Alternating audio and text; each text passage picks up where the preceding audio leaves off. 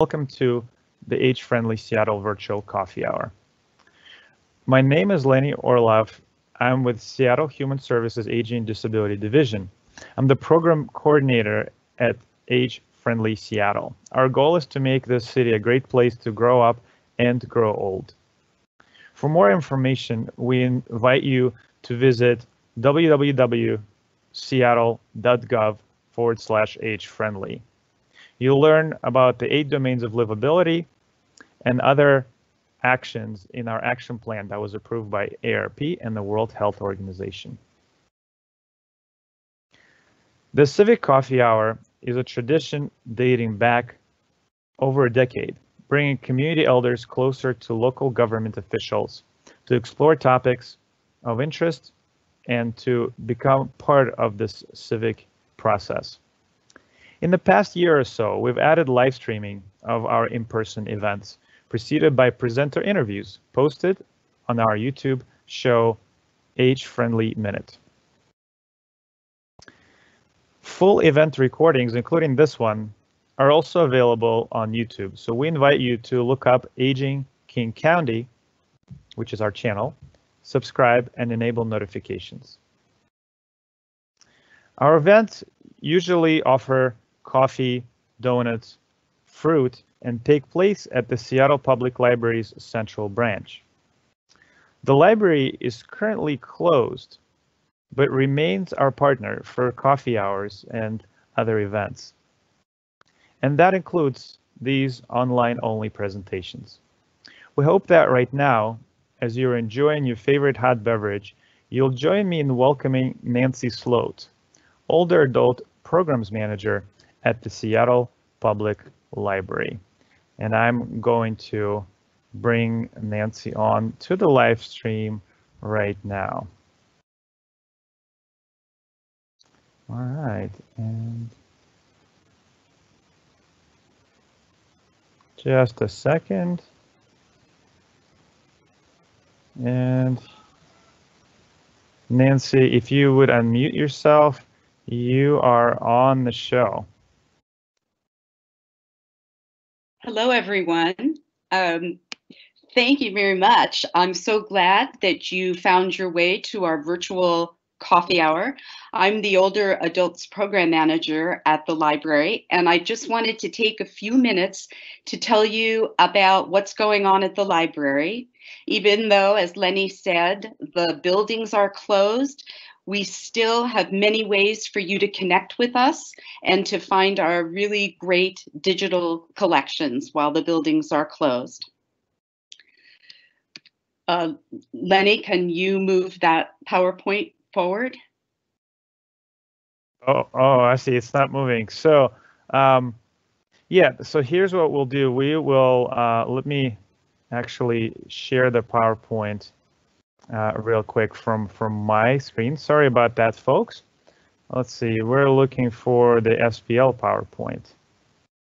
Mm, let's make sure that we're on the very first page. One second. Okay. Getting back into the live stream and sharing the PowerPoint. It'll take just a second for that to show up.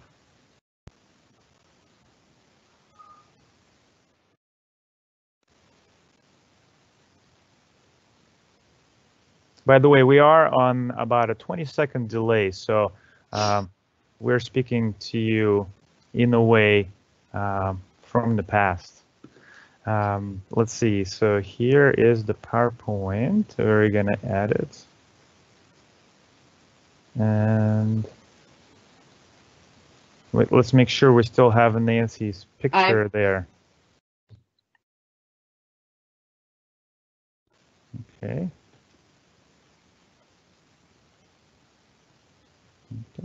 Of course, we practiced this so many times, um, but um, so at this point, that should be working. So let me go ahead and advance the PowerPoint. Yeah. If you could quick. advance the next.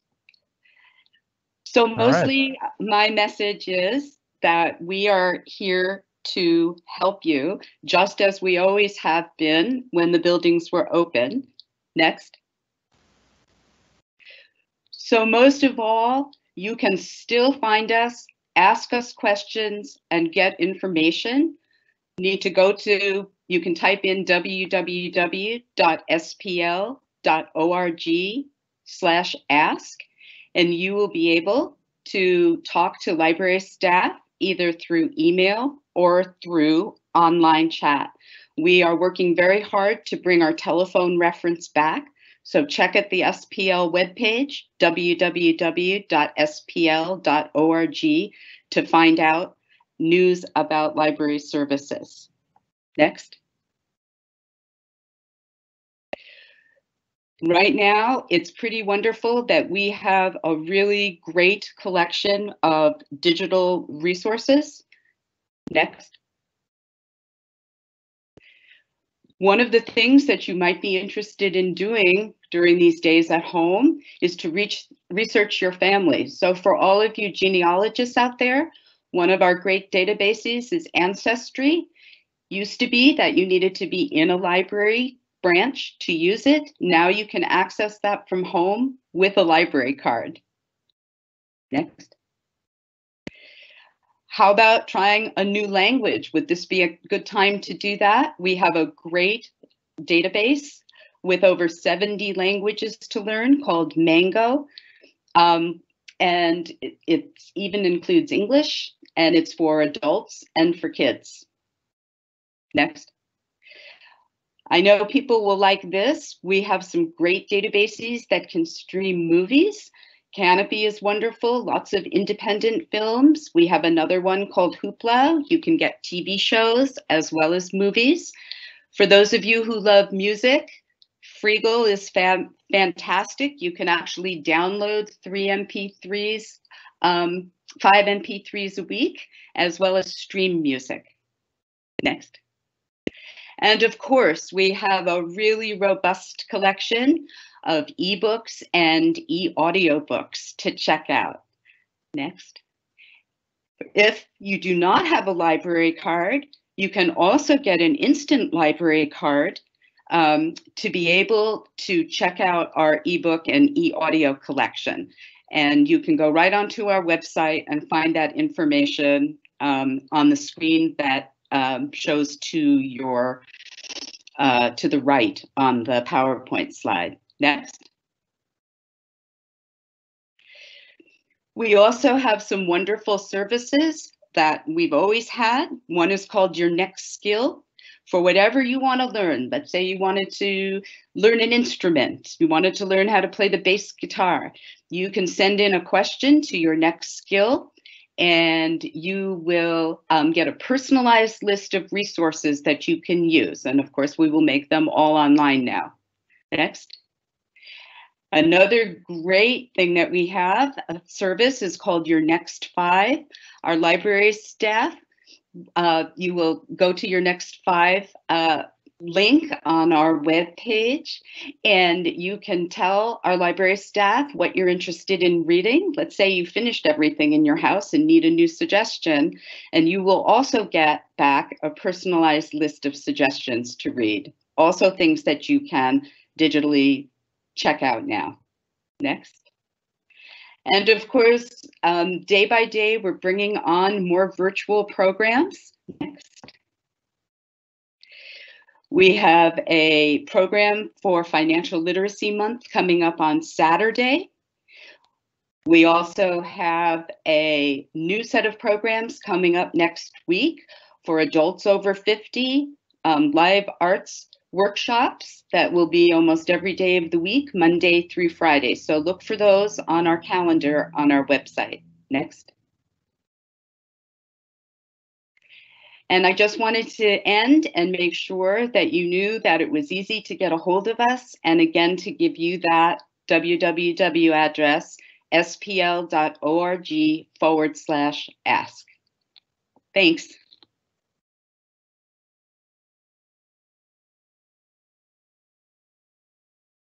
All right. Uh, thank you so much, Nancy. Um, thank you for uh, for this really important information uh, while we're staying home and uh, you know, um, trying to stay connected. And thank you for your partnership. Um, as I'm loading uh, the next uh, presentation here, I'd like to start um, also introducing other members of today's broadcast. Um, so let me first uh, load um, load the the PowerPoint here.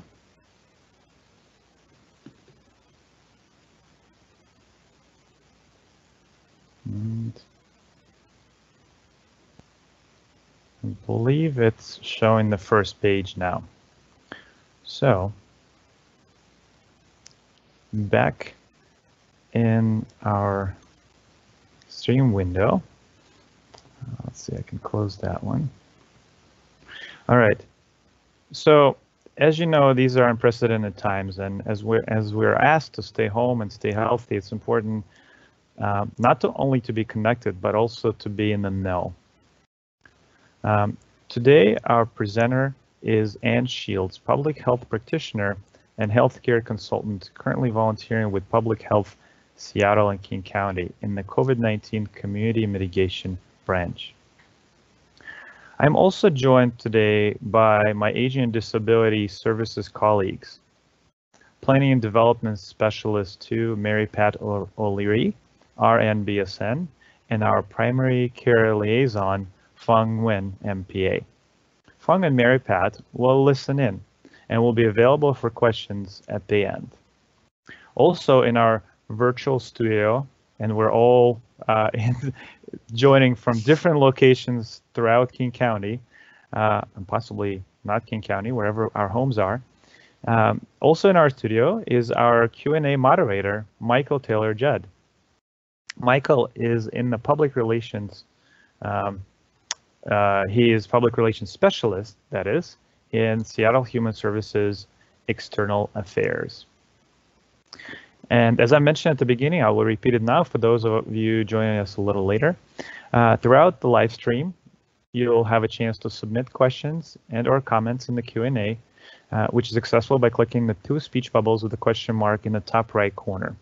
Underneath the live video on the bottom right, there are options for enabling closed captioning, choosing one of seven languages, and selecting such options as caption size, contrast, and other uh, ways of displaying these subtitles.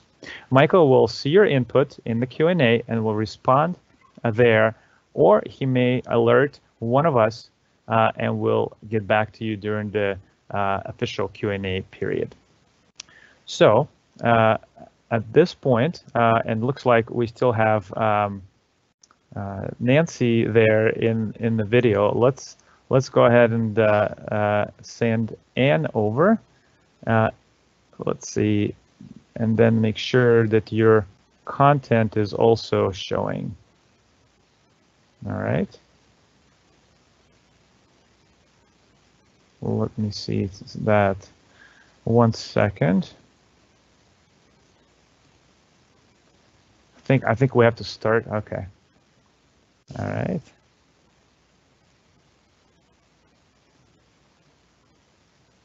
Oh, I, I, see, I see what it is. I'm, I'm pressing the wrong button there. Okay.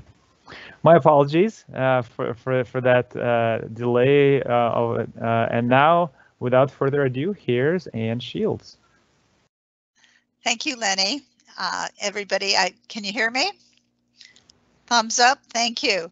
Uh, Lenny, we Lenny has been an amazing tech guy this past week getting ready for today, and I just want to thank him for all the work he's done to try to maximize Skype and our ability to talk to you in whatever language is useful. You can go to the next slide, Lenny, which is just my introduction again. And again, Lenny already mentioned that I'm a nurse by training.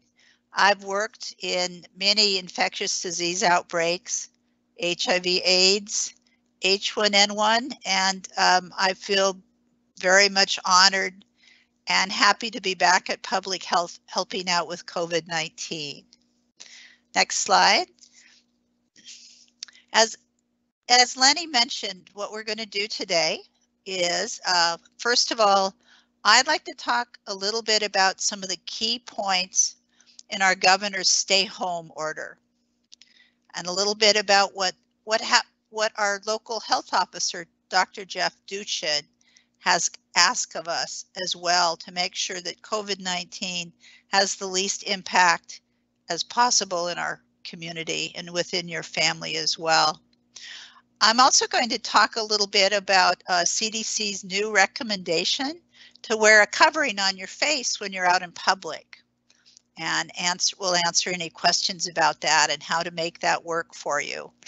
We'll also review a number of resources available to help you get through um, what's really an unprecedented time, um, very new and difficult time for many of us.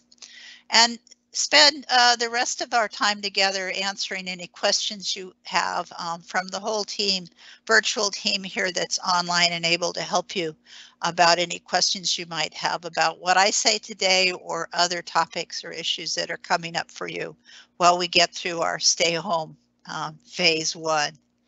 Next slide. uh, just a reminder about why this is an important topic for the Civic Hour. Um, folks who are older, 60 years or older, including absolutely healthy, active 60 year olds and on up, are at much greater risk for severe outcomes. Um, by that, I mean ending up in the hospital, having a real difficult respiratory uh, conditions develop as a result of COVID infection. Um, so it's very important for us um, as a group of folks, and that includes me, who I'm 65, who really need to understand why we need to act um, differently right now. Others who have underlying medical conditions in your family, like those with diabetes, heart disease, asthma, are also more prone to have uh, difficult outcomes and also anyone who's been weakened by cancer, say organ transplant, any kind of skin condition that's required radiation, any factors that might affect your immune system, um, as well as pregnancy, are also folks in your in your among your friends and families that might be at greater risk for difficult outcomes. Next slide. So the governor's stay home order is due to expire on May 4th. Although yesterday the governor um, uh, gave a lot of hints that it's likely to go on longer than May 4th. What the governor asked us all to do with that order is to stay home, stay healthy, um, and confine what we do to what um, he calls in the order essential activities. Things like getting to a medical appointment, getting your groceries, um, but maybe shopping once every two or three weeks, as I'm doing, instead of every couple of days. Um, restaurants are closed, so you might be able to go out and pick up takeout food for something special and just to get out of the house. Very importantly, we're all being asked to limit our visitors. And that is, I think, one of the toughest things for many of us. It's certainly the toughest for me. Um, keeping uh, your friends and your family um, um, outside your home, visiting them perhaps for a walk six feet apart, rather than inviting them into your home for a cup of tea is hard to do. And it's very hard to sustain that over time. But it's also very important that you not expose yourself or expose your friends and family um, to unnecessary, uh, the, the possibility of COVID-19, um, if you can at all, um, do that. It's not on my slide, but there's some new data that suggests that many of us have COVID 19 infection, but have no symptoms whatsoever. 25 to up to 50% of that is what the NIH, 50% of us is what the NIH currently suggests might have infection but have no symptoms whatsoever. So that's why it's very important for you not to um, think we can judge about who it's safe to be around and who it's not safe to be around. We don't know if we have that infection. We'll have greater understanding as more studies are done. But right now, what's important is that you keep six feet distance, six feet apart for most of the important people in your life. And uh, walks, exercise outside is okay, that's great, but keep that distance. Um, in my neighborhood, it's a common uh, sight to see people walking down the middle of the street. I think that's true in a lot of Seattle and uh, suburban neighborhoods right now because there aren't very many cars traveling. Um, when I see someone coming on the sidewalk, I very naturally move into the street, um, alongside the sidewalk, if or even in the middle of the sidewalk, um, and a wave and a nod and maybe say hello. I'm finding I say hello to a lot more people now than I used to because it's good to see people even if they're 12 feet away from me. So that's just some ideas about keeping that six foot distancing and how to learn to just do it in a really natural way. So next slide.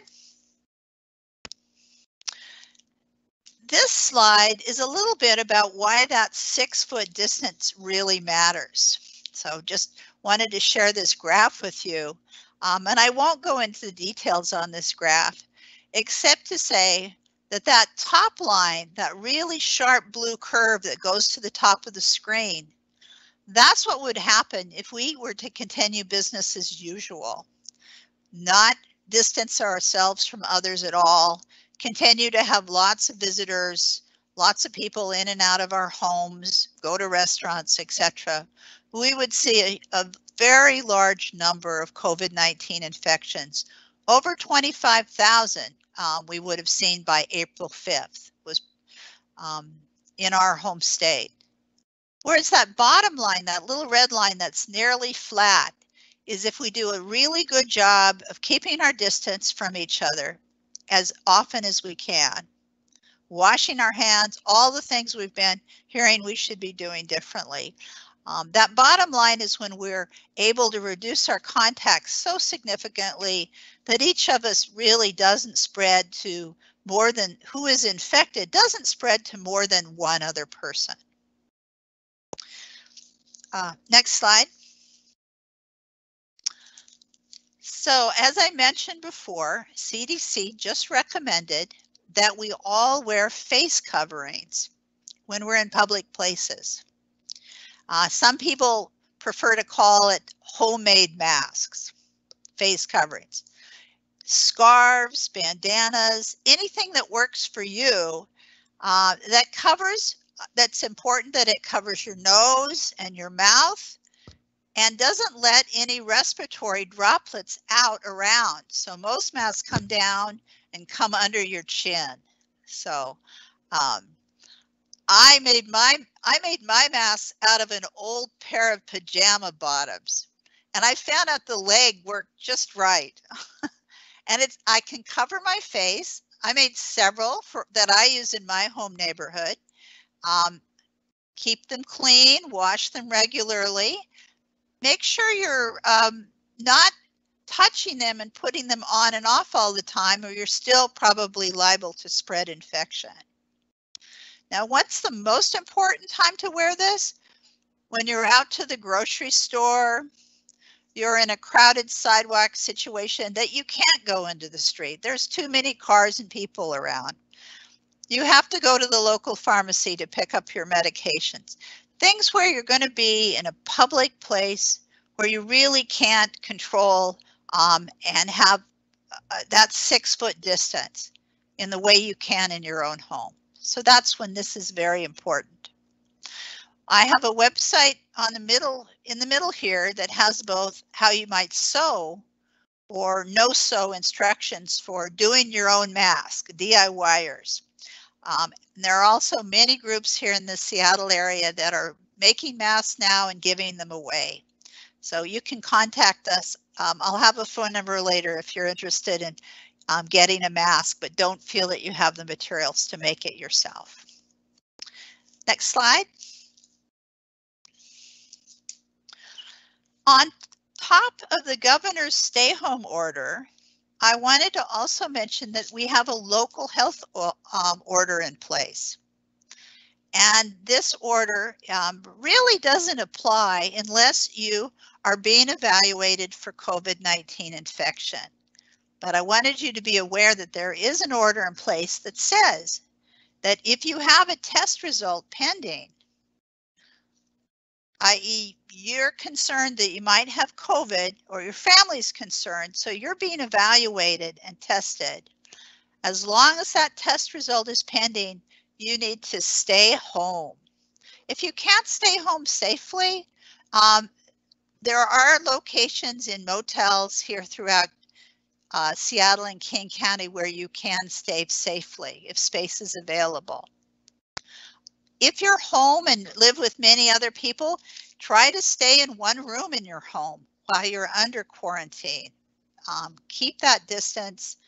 Uh, don't share household items stay away from everyone so that you don't inadvertently spread your infection while you don't know if you're infected yet. If and, you do, yes. Um, we have a question that came in oh. from uh, Levi. Uh, uh-huh. Uh, he's wondering if you could go back for just a moment and explain taking off and putting on your mask and the risk of that continuing to spread the disease. Okay, great. Um, you know, the risk of that is really about what's on your hands.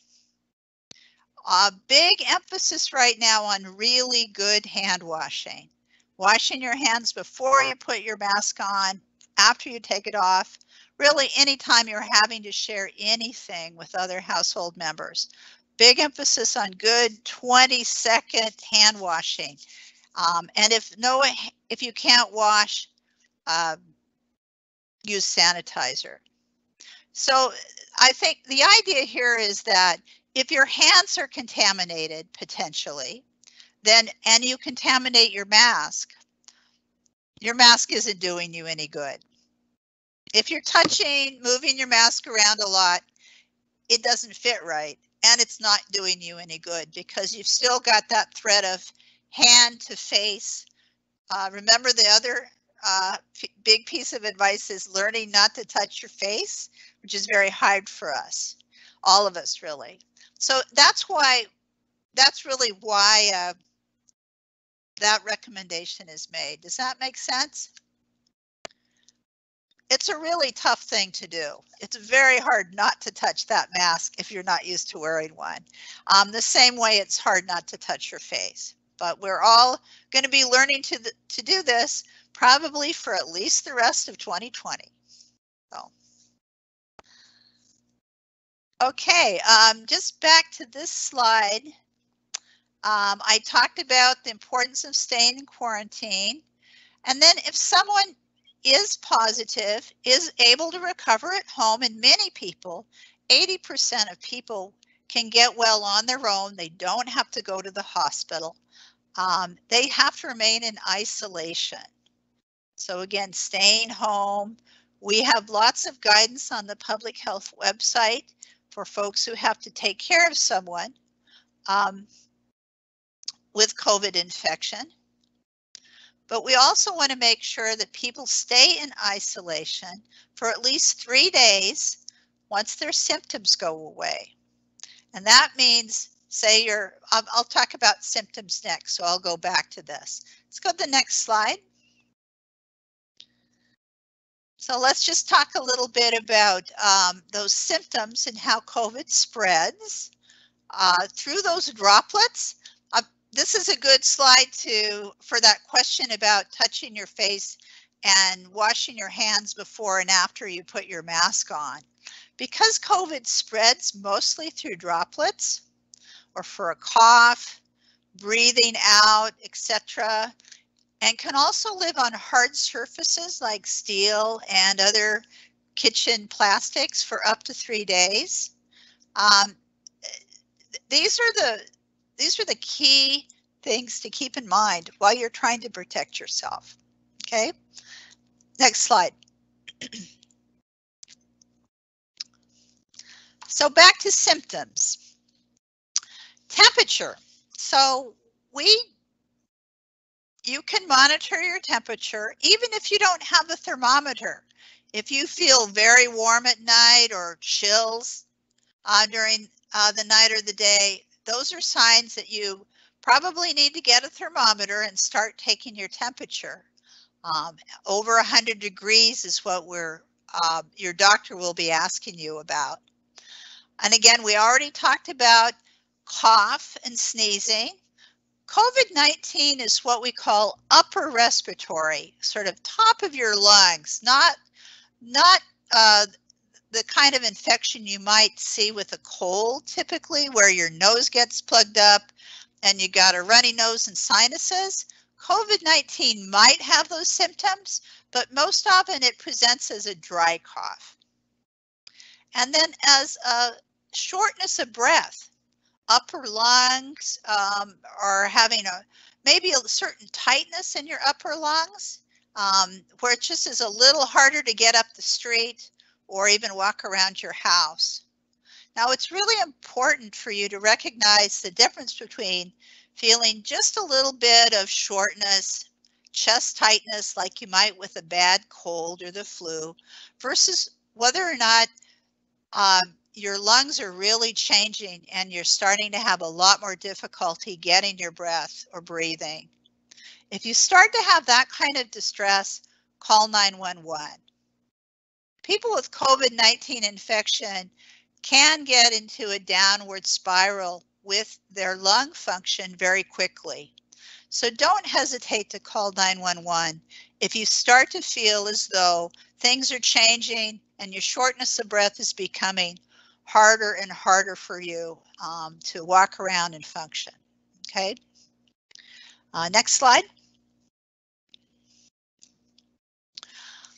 I'm not going to go through all these other ways to reduce your risk of infection because I want to I want to make sure we have plenty of time for questions here. The one uh, the one thing on this slide though I do want to talk about is uh, the cross up in the left corner. Do not go to the emergency room. That's not the place you want to be right now. If you have, uh, first of all, if you don't have COVID and you go to the emergency room, that's a great place to get it right now. So try to stay out of the emergency room. Call 911. They can help you assess the situation and decide. They'll tell you if the emergency room is a, a place to go or not, or if an ambulance or other measures to take. Um, hopefully, you've already connected with your primary care provider or if you don't have a primary care provider, call public health. And I'll have those phone numbers later and we'll help you find a public health center to, to help you sort out what you should do. Uh, if you do have COVID-19 in the emergency room, well, there will be a lot of other people there as well with COVID-19. But it's probably not the best place to start to get the care you need right now. Okay. So uh, I'm going to skip the rest in the interest of time and go to the next slide, Lenny. Um, cleaning, disinfecting all the surfaces, the things that you touch a lot in your home. Um, not that many of us live alone, um, or if you do have the home care worker or other visitor who's in because they're working with you um, and they're as an essential service provider, just important for you to just keep cleaning things, washing your hands, but also doorknobs, door handles, uh, kitchen surfaces, anything that all your household members are using. You can use just typical household cleaning products. That will that's sufficient, but it's important to really um, up the ante and clean those much more frequently than you're doing right now. Next slide.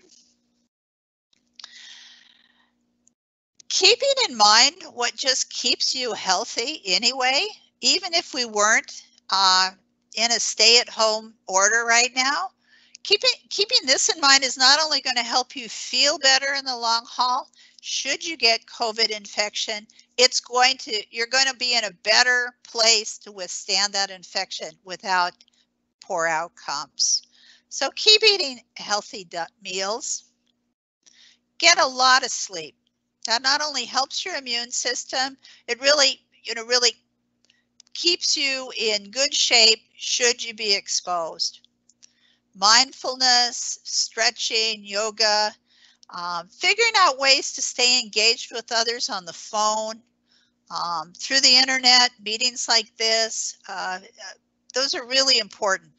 And so there's a nice picture here I like of a neighbor dropping off some food for someone.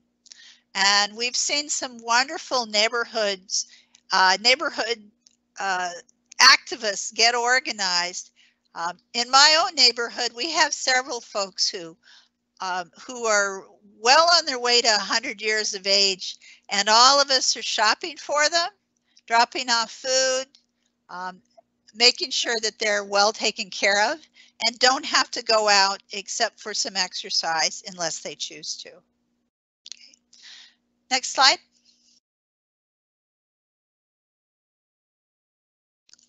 There are several call centers that can help you out.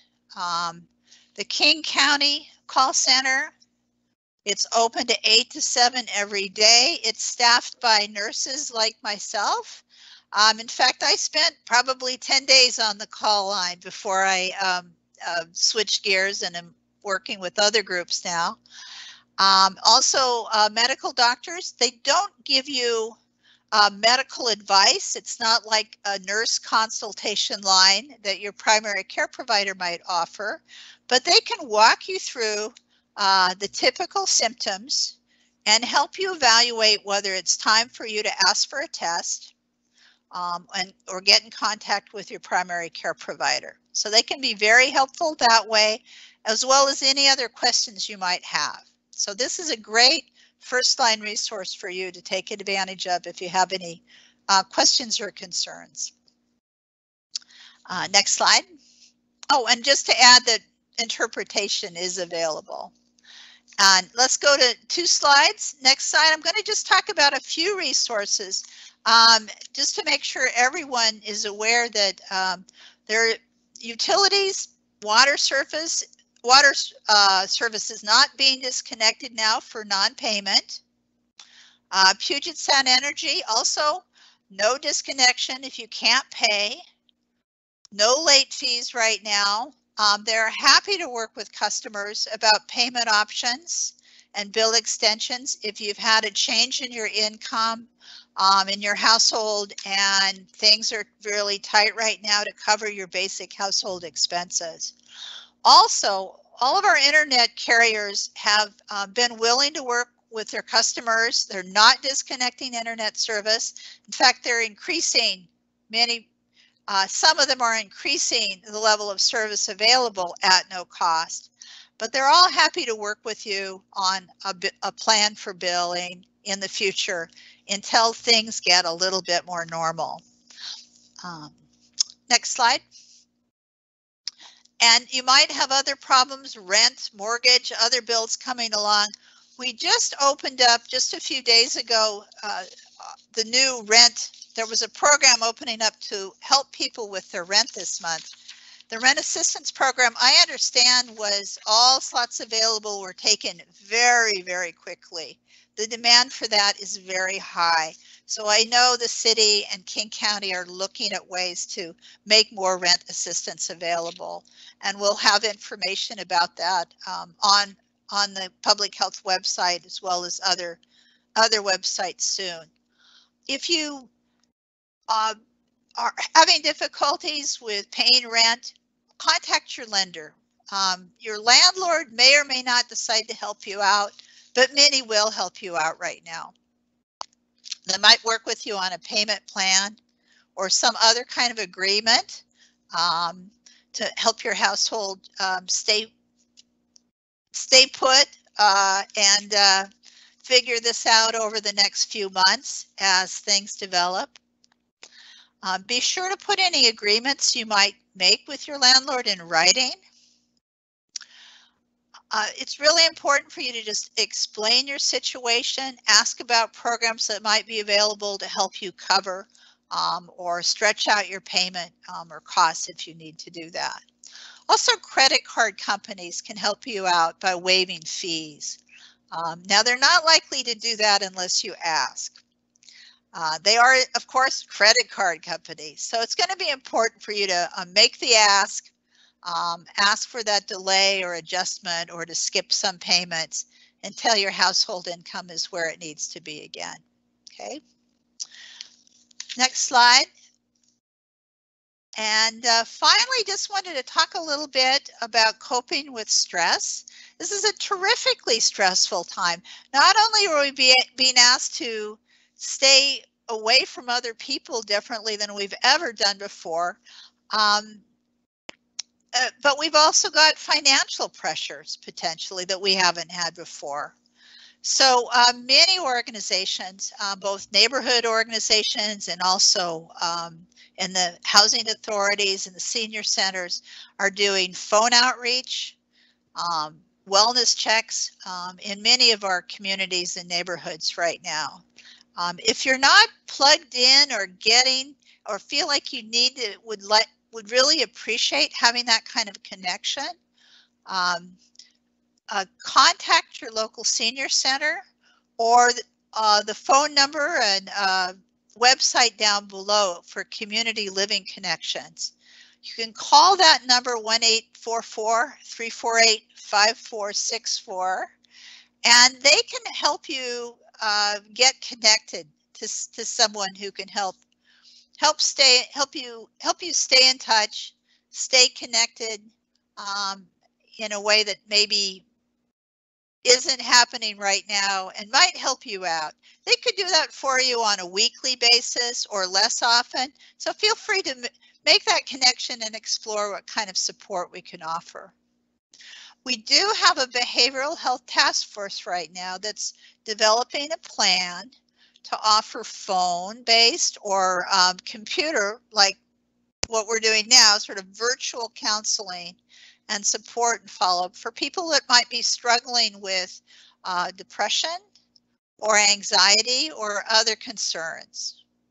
So we'll make sure that the Coffee Hour makes that information available as that plan is put in place. So you'll know how to request those kinds of services if they're useful. Next slide.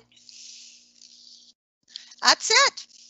So we've still got some time left for questions um, or comments. And uh, and uh, remember, it's not just me here, but we have Mary Pat and others as well who can um, also help respond about any resources or concerns. All right. Uh, thank you so much, Anne. Um, Sure. Michael, do we have uh, any uh, specific questions for any specific uh, uh, persons here? Uh, either um, Anne, Mary Pat, Phung, or maybe for Nancy, who is still uh, with us uh, in our virtual studio. Uh, no questions in the uh, Q&A at the moment. Uh, reminder to folks, if you want to type something in uh, at the bottom uh, on the toolbar, you should see a little sort of, what is those, screens, books, whatever, with a question mark, and that will open up the live event Q&A window for you.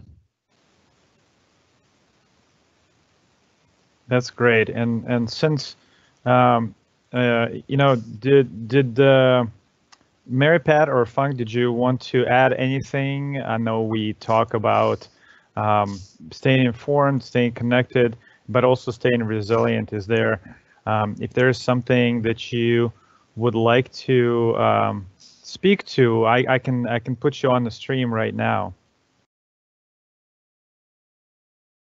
Um, Lenny, this is Mary Pat. Hey, Mary Pat. Hi.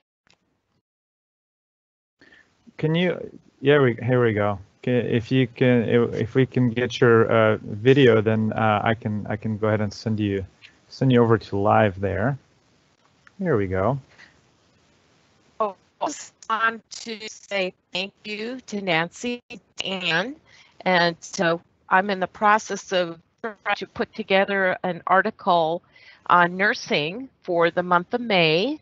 Uh, it's um, Appreciation Month, and I do think we owe our nurses and our healthcare providers, you know, a great debt gratitude.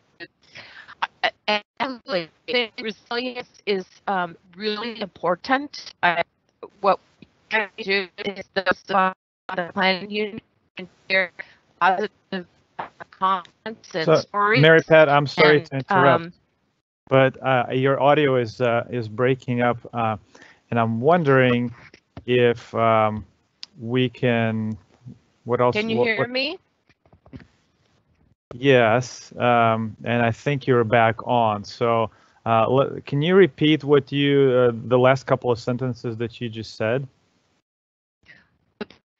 Unit, Aging and Disability Services tries to support each other by telling positive stories, sharing positive stories, and also the importance of laughter. Some, um, if most people know that I'm a, a master trainer, and one of my quotes is that I share, everyone can have one good minute one good hour or one good day, even uh, in this pandemic. Thanks, Anne. I see Anne's point that we need to remind each other that we have a good minute today, a good hour today, or an excellent day. We have a lot to be grateful for. I think I've seen much heroism amongst people looking out for each other and that is part of resilience is getting out of ourselves and helping others Phung did you want to say anything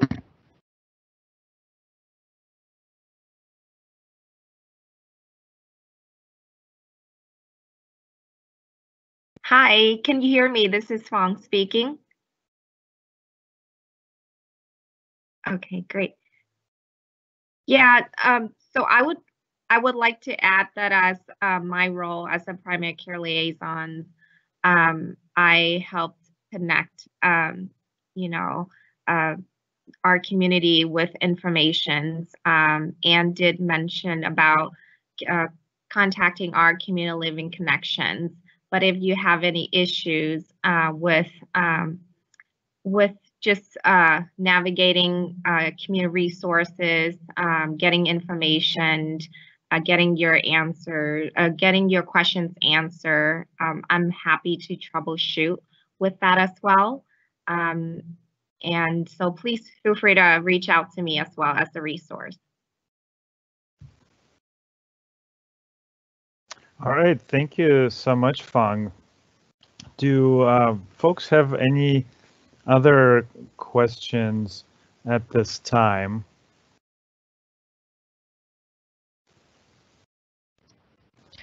anne mentioned about the masks and i hope you can hear me i'll try and see if i can do this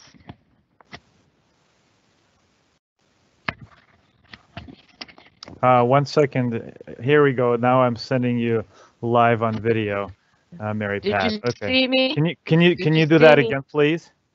absolutely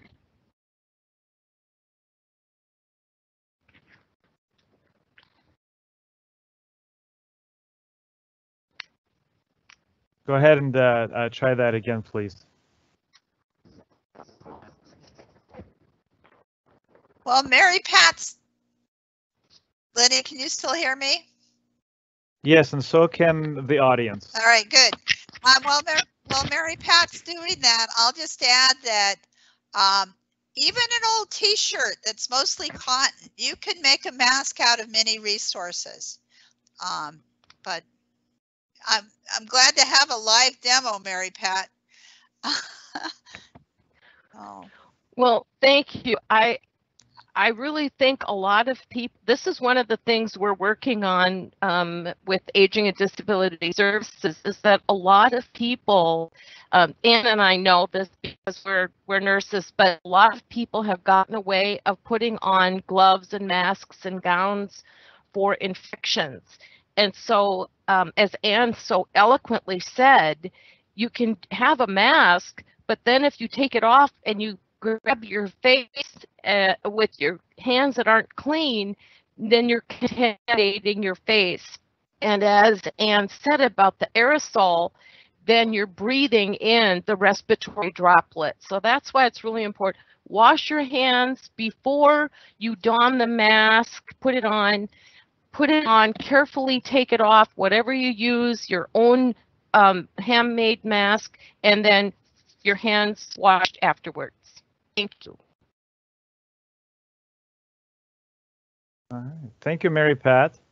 Um, So I see a comment in the Q and A. Is the point to use sanitizer before and after using a mask? Yes, good idea. Yes, good idea. I'm I'm a big fan of hand washing myself, but whatever you've got handy, uh, sanitizer, if not a sink, um, um, really wash those hands well and clean the clean every surface well.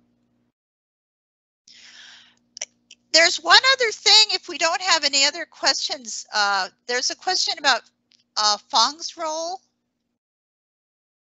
Did that get answered sufficiently? What is Phung's role?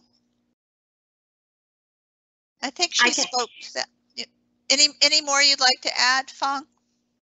Uh, yes, sure. I can um, talk a little bit about my role. Um, so my role as a primary care liaison is to um, connect and share um, community resources uh, about aging and disability services um, in Seattle and King County. Um, this can be for um, helping uh, a resident connect to resources or a primary care provider or hospitals or even our community service providers. So connecting, navigating resources in our community and um, helping with the referral processes, um, as well as troubleshoot any um, of those uh, process uh, from beginning till the end until people get what they need. Thank you. And we have one time for one more question, uh, and I see a question there in the Q and A. Um, can you use a weak bleach solution as disinfectant? Who would like to take that? And would you like to? Sure. Yes, you can. In fact, bleach is cheap and effective. And um, we have information on the public health website about um, how to dilute bleach um, and use it in that way. And uh, perhaps Mary Pat remembers, I, I don't want to quote the dilution because I'm not sure I've got it right in my head, but you can find great information about how to use bleach both at the public health website and also CDC website provides that. So, All right. Thank you so much, Anne. I would just, yeah, can you hear me? mhm. This, so other thing that I, I wanted folks to know is that uh, Maria Langley and myself, we participate in the older adult force with King County and participates in that. And we also work with the disability committee. So if you are hearing things, you have concerns, you would like information pushed out, just let us know. We're happy to raise that up to that level. Also wanted to let you know we haven't yet started getting care coordination clients, but I am working with Kelley-Ross Pharmacy to help us address the medication um, accessibility for older adults, and that includes King County Housing Authority, SHA, and others. So just letting folks know we're here for you. Thank you. All right. Um, thank you, Mary Pat. Thank you, Anne, Phung, and, and of course, Nancy, uh, for all this great information. So, um, in closing, um, first of all, thank you for being here. Thank you for uh, bearing with us through some technical difficulties. This is our first uh, ever live only event. And um, uh, you know, if you would like, let's say one of your friends couldn't uh, join us live, but would like to hear this information, um, and, and, and, and see, see the presenters, uh, they can view the recording of this event.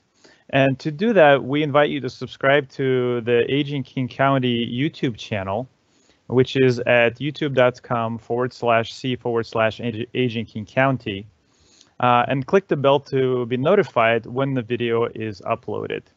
In the meantime, we would appreciate it uh, if you could provide us with some feedback on today's event. Uh, it should only take about two minutes to complete, um, and it's a online survey uh, via SurveyMonkey, and that's surveymonkey.com forward slash r forward slash April 2020 coffee, and that should be posted in your Q&A shortly. Um, I would like to note that at the outset of 2020, we did set out to bring the in-person coffee hour events that usually take uh, at the downtown library to more communities around Seattle, especially to immigrant and refugee elders. And our vision with that was to broadcast these live events um, online um, so that community centers, senior centers, and community organizations that serve Seattle's diverse communities would offer screenings uh, right there in Seattle's neighborhoods where folks that uh, speak the language of participants could be present and make these presentations culturally appropriate. Hopefully today, um, you know, the, the artificial intelligence version of uh, interpretation was in a way sufficient uh, for those of you who uh, uh, who took advantage of it. And for that vision, for for bringing, uh, for for making um, language access available, uh, sort of digitally, we partnered with a team of undergraduate students at the UW Information School.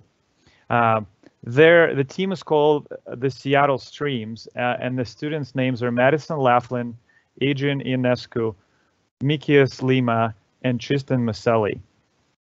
Um, this is part of a capstone project for uh, the information school um, and uh, we will be rolling it out. So next time this experience may be um, you know uh, enhanced by the efforts uh, of these uh, students. So so thanks to them as well. And as you saw on one of Anne's slides um, Community Living Connections is a network of organizations in Seattle's neighborhoods that uh, is available to assist during COVID-19 and in other times. So with any aging or disability issue, you are welcome to contact Community Living Connections by calling 1-844-348-5464. Again, 1-844-348-5464 or by visiting them on the web at www.communitylivingconnections.org. Thank you so much for being here. Please stay home, stay healthy, and stay connected. We'll see you all next month. These events happen every third Thursday of every month. And there may be other ways we'll be connecting with you uh, in this format. So please stay tuned. And for more information, uh, you, you can email agefriendly at seattle.gov. Thank you and have a good day.